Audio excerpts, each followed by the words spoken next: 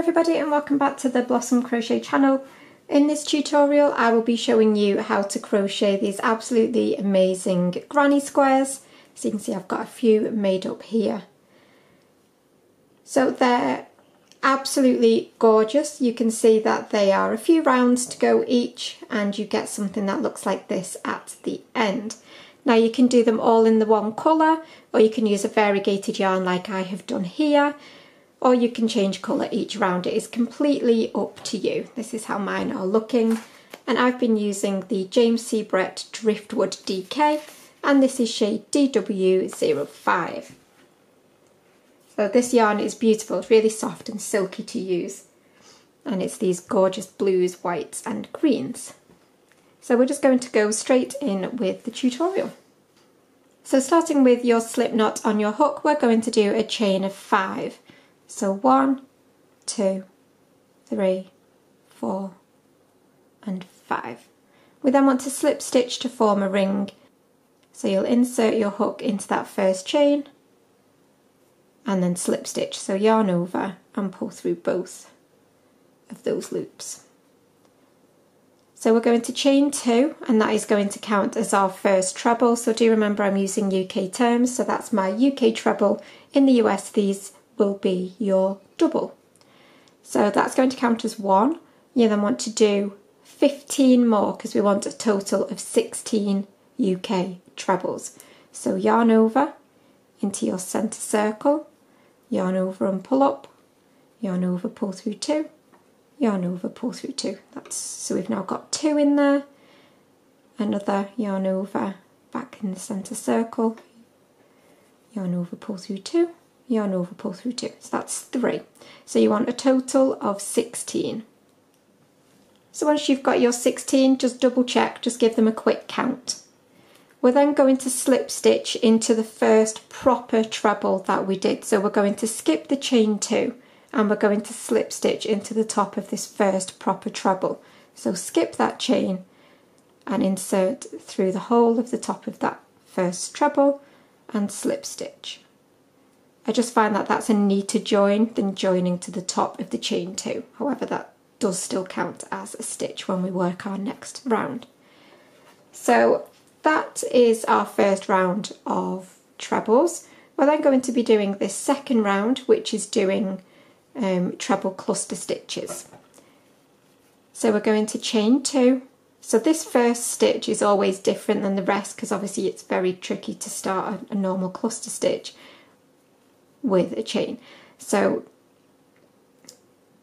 that we're going to chain two and then into that same stitch you're going to put another treble. Okay, so just ignore that one because that's different. And then into this next stitch we will start our double crochet two together. So you will yarn over, insert into your next stitch, yarn over and pull up, yarn over, pull through two and stop there.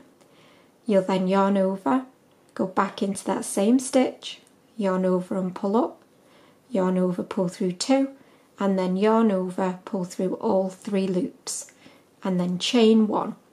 And then you'll do the next stitch in the exact same way. So yarn over into your next stitch, yarn over and pull up, yarn over, pull through two, yarn over, go back into the stitch, yarn over and pull up, yarn over, pull through two, yarn over, pull through all three and chain one and you will do your two double so you will do your two treble crochet two together all the way around until you have got 16 sets including that first funny one from the beginning. So I've currently got 15 and I've got this final stitch to work into. Make sure you do your final chain one and then we're going to slip stitch to the chain one space after that first stitch. So you're going to skip this first group of stitches and you're going to insert your hook into that first chain one space and slip stitch. Okay, so that is how you should look at this point. We're now going to work on our third round, which is our three treble crochet clusters. So you'll chain two and then into this same chain one space you'll yarn over and insert, yarn over and pull up, yarn over, pull through two, yarn over, back into that chain one space, yarn over and pull up, yarn over, pull through two, and then yarn over, pull through all three. Again, this first one is different to all the others. You then want to chain two this time. And then again into the next chain one space, so you'll skip two treble crochet together from the previous round and you'll go into your next chain one space. You'll yarn over and insert, yarn over and pull up, yarn over, pull through two, yarn over, back into the chain one, yarn over and pull up, yarn over, pull through two, one more time, yarn over and insert, yarn over and pull up, yarn over, pull through two, yarn over, pull through all four, and then chain two. And then again, you'll do the exact same in your next chain one space. Don't do it, Olive. Don't do it. Make sure you do your chain two. Sorry about that, the cat's literally sat on the table glaring at my yarn like she's about to pounce. she's such a nuisance. Anyway, so you will work that all the way around. So into every chain one space, you will do your three treble crochet cluster separated by a chain two. And again, you will have 16 of these. And if you don't, then you might just need to count back your last row. okay, so if you work that all the way around, so once you've done your final cluster, you need to make sure you do your very last chain two. And then again, we're going to skip this whole first stitch and we're going to slip stitch into this first chain two space. Okay, don't worry if it curls up slightly, it will flatten out as we go. So now we're going to move on to our final petal round, which is our five treble crochet cluster.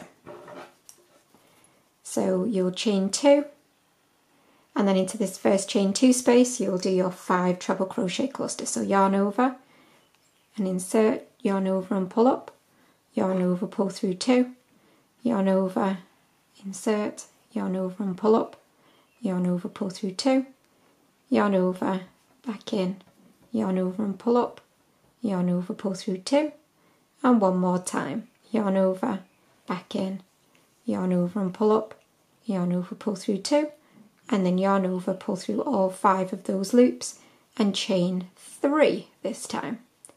And then again into your next chain two space, you'll do your first proper cluster. So obviously again that first one was a little bit different.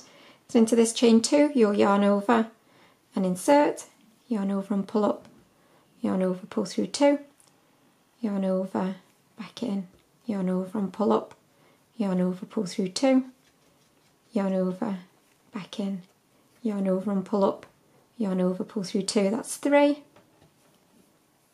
and again four, and one more time, five, and you'll have six loops on your hook, yarn over, pull through them all, and chain three. I'll just show you that five treble crochet cluster one more time.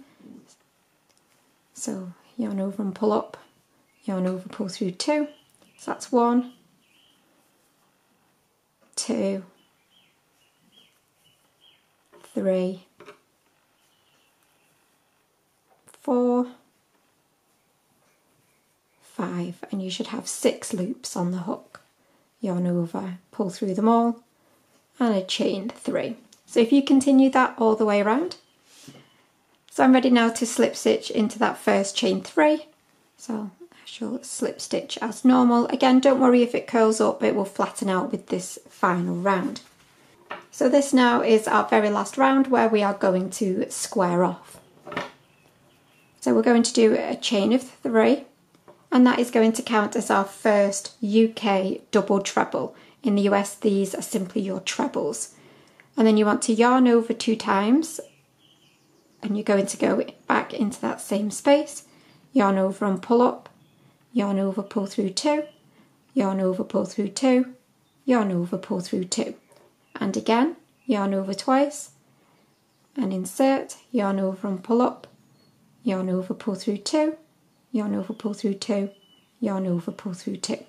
You then want to chain three for your corner and then back into this very same chain three space where we were just working, you're going to do three more double trebles. So yarn over twice and back in.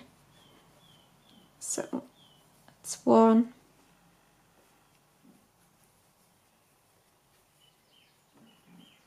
two,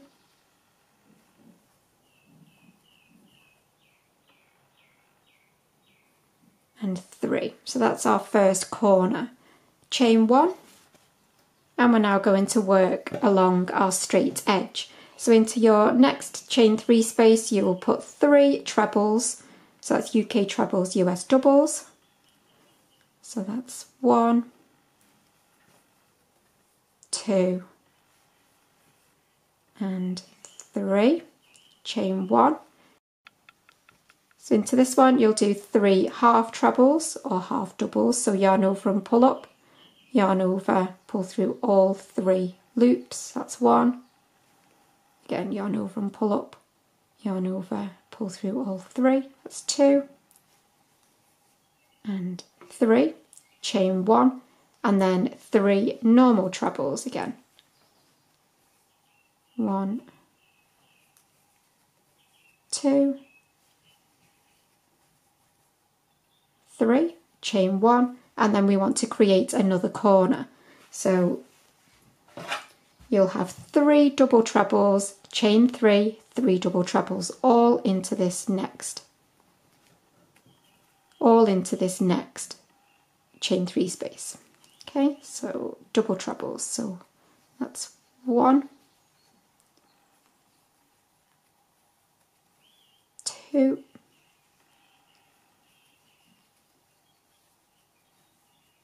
and three, chain three, and three more.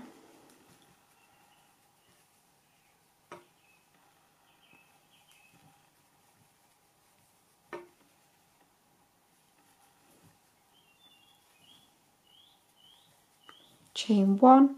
And then again you're going to work your next straight side so you'll do chain one and then you'll have three trebles chain one three half trebles chain one three trebles. So you go bigger stitches, smaller stitches, bigger stitches, even bigger stitches for your corner. So if you continue that all the way around, so you'll be finishing on your trebles, do your final chain one, and then you're ready to slip stitch to the top of that chain three from the beginning of the round. And then you're all done. So you can chain one, snip off and then just pull that tail out and tighten up. So that is how your granny square should look. It should have flattened out a little now as well. If it does still ping up at the corners, um, obviously that would settle once you were joining your squares. So obviously if you're joining, as you join them together, it would pull all those corners down anyway. Now there are lots of methods to use when joining your granny squares, so I will leave links in the description for some of my favourites. But that is it for this tutorial. I really do hope that you have enjoyed this one. If you have, please remember to like it and leave me a comment and also share with anyone that you think might like it. But thank you as always for watching and bye for now.